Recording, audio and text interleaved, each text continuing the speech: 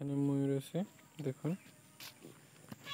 অনেক ময়ূর এগুলো সব মহিলা ময়ূর। ও তাহলে আসো।